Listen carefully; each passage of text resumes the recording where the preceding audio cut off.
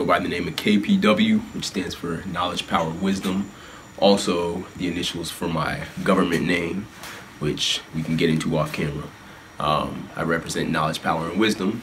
I represent true, very hard hitting hip hop, influential music, and an underlying message. Lyrics, dope beats, and life. I grew up in Northern Virginia for the first half of my life.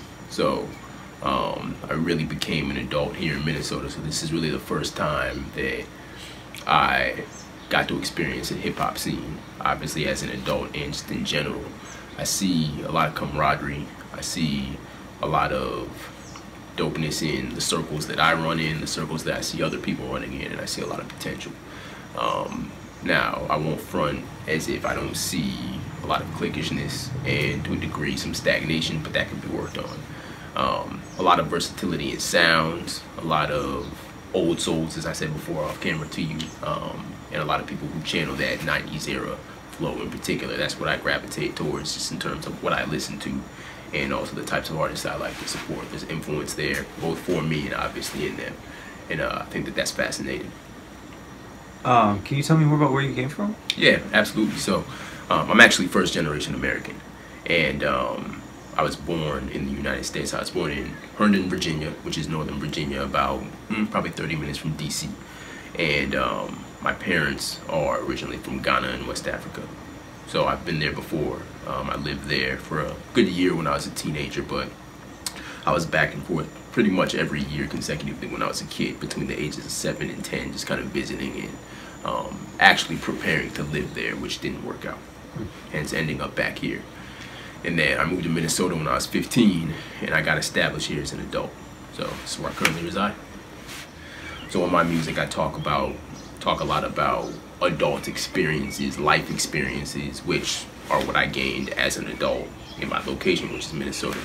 Um, you know, that's that's something that's inevitable. As far as sound, I think what actually influenced me sound-wise, at least in the long run, ultimately was um, actually being from the East Coast and being heavily influenced by East Coast music, or at least East Coast style music. So if you listen to the flow, the drum patterns, I make all my own beats, by the way. So a lot of those are heavily influenced by New York style, kind of boom bap, you know, between 90, 95 BPM um, types of instrumentals. So um, overall, in a nutshell, that's kind of how the influence manifests itself. Ultimately, no, there's no representative sound of Minnesota because, like I said before, there's so much versatility in styles and in delivery and, and influence in artists I see here. So I don't think that there's an overall representative sound, and I don't think that that's even a bad thing because I think oftentimes when you, you know, especially today, you have artists who are from places that kind of represent one style. For example, you hear somebody rapping over a trap beat that you know has kind of that more bouncy flow and is representative, of, say like a future or somebody like that. You automatically assume that they're from the South. At least that's the way it used to be. But now that's kind of an overarching thing because number one, that's a more popular sound of today, and number two, it's 2019. Influence is widespread. I mean, you have social media, you have the internet, you have a form of platform that people can kind of communicate and transcend location. So, um, long-winded answer, but in short, no, I don't think that there's a sound. That's not a bad thing because access is ever present. At this very moment, I'm working on a new a new LP. Um, my most recent LP is called Ativia's Beautiful Shells. Ativia is an acronym for art that is visual in audio. So I put that out at the beginning of January, actually January 1st of last year, 2018. Um, and in between, I've done two EPs, one called 875 Laconic and the other called 26 Antiba 3. Um, I can give you the spelling after this, and It's a lot of work, the, man. You maybe you can out- throw in the description or something like that. Yeah, Yeah, I got you. but but I'm constantly working on something. Um, and mainly I, I'll do the EPs just to kind of you know have material for people to listen to while I work on the bigger projects.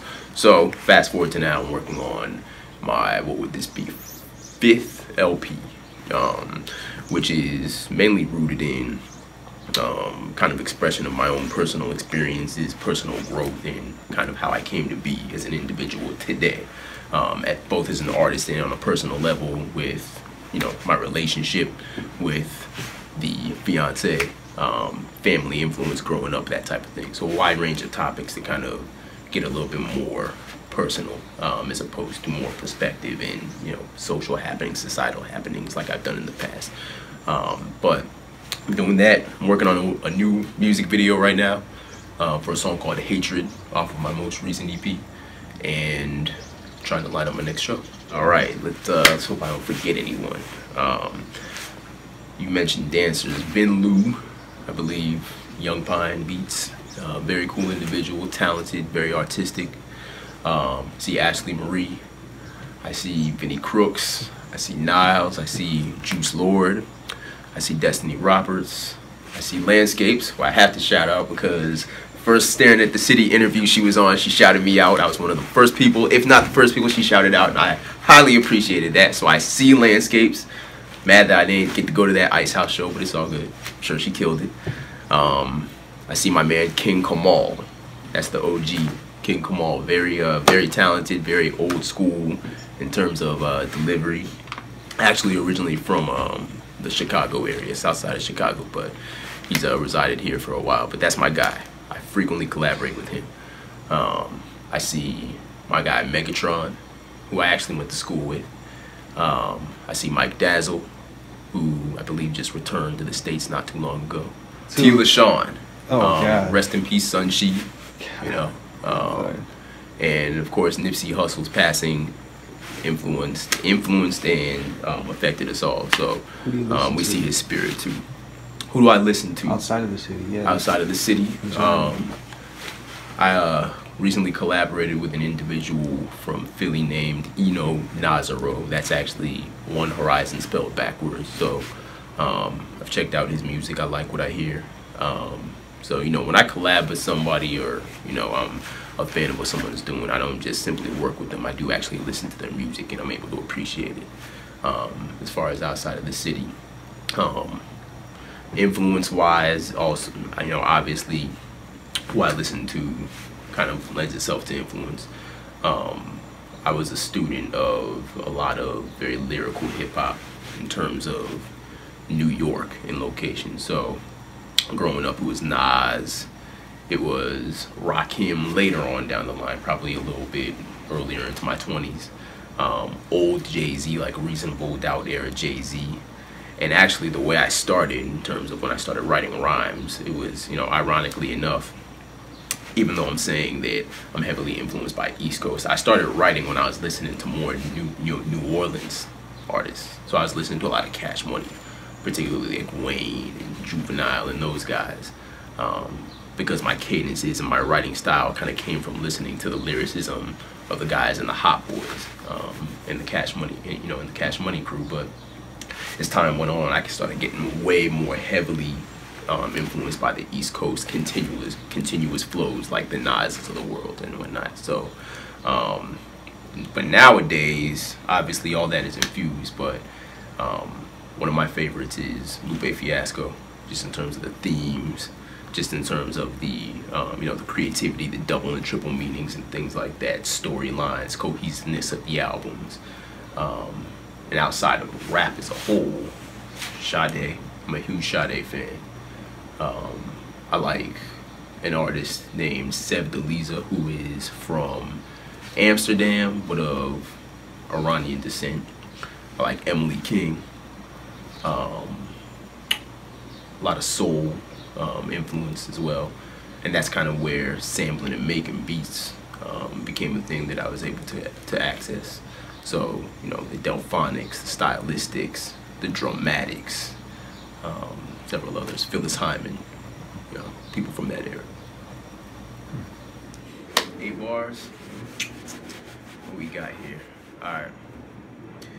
Tasteless ass palates crave. Lust is an issue, trust is in misuse. Accustomed thrusting the hip moves, rusting and fixed through. Panic over reproductive chances, which wither with age and options that change. Rage through the iris of the males ignored in prior years, like you supposedly searched for perfect and I was here. Settled down a term rather subtracts the vertical decline and equates to grabbing up the good enough. In prior years, he wasn't square. Prior years, he wasn't hood enough.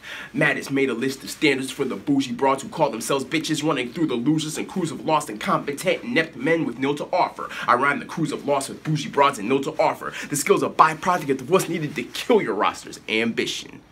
All right, you don't get any more than that. That's brand new. the premise of the song that that 16 eventually what would have been a 16 comes from is um just really a recap of life as you know a young man in search of the right mate and you know oftentimes what we see is as males as we um, our perceived value tends to kind of go up in terms of um, stock going up and we start to get established we see um, obstacles in the form of not wanting to get established with the wrong person mm. for reasons of only being a good husband, but rather being a good match and finding a soulmate. Mm. And so I kind of am just recapping on having found the right partner and, and having avoided all of that, which fortunately, you know, is my situation now. It's not always so easy. It's a beautiful thing. not always easy, but yeah. it's a beautiful thing. So very fortunate. Minnesota seems like it's always kind of been on the verge, and it's been on the verge for a while. Um, I think that that exposure is on its way. I think that that exposure is very imminent for a lot of artists here. We've seen, um, you know, a good handful of people come out of Minnesota that have um, gained widespread coverage. Not, you know, in the big scheme of things, not largely in terms of the game, as they call it. Um, and I put it in air quotes for certain reasons, but um, I think it's on the verge. I mean, especially with your, you know, your Soundsets, which are starting to garner more mainstream acts in terms of, you know, your sway in the mornings, you know, pre-Soundset every year now for the past, what, what has it been, three or four years now that they've been doing that. Uh, I think we're on the verge, and I think that, um, you know, the development is there, for sure. Um, the reason I say the game is because, you know, that kind of that kind of lends itself to the whole idea of getting on, as people like to say. And I think that you know these days the land, the structure in the landscape is way different. I mean, I think that you can kind of create your own destiny now. There's really no, there's really no necessity to wait to be put on. You see a lot of people who are independent now, which is a great thing, and who are kind of creating their own lanes and not really, not really going off of reliance.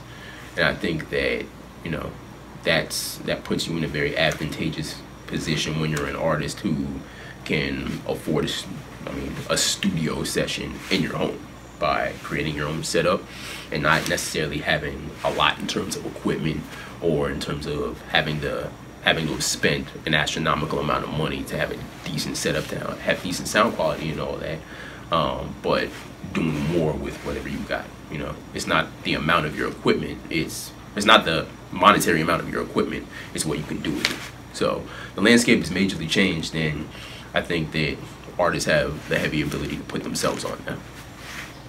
You know, I think that, I mean, just like any city, there has to be more of, has to be less of a crabs in the barrel mentality. And I don't say that just to um, isolate or single out Minnesota. I think that that's everywhere. But I think that all in all, competitive nature is important.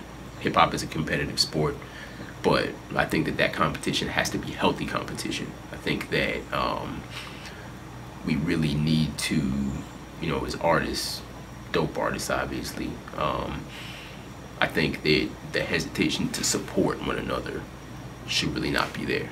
Um, if you genuinely don't like something, that's one thing. But I think that being afraid that somebody's gonna outshine you really isn't the look.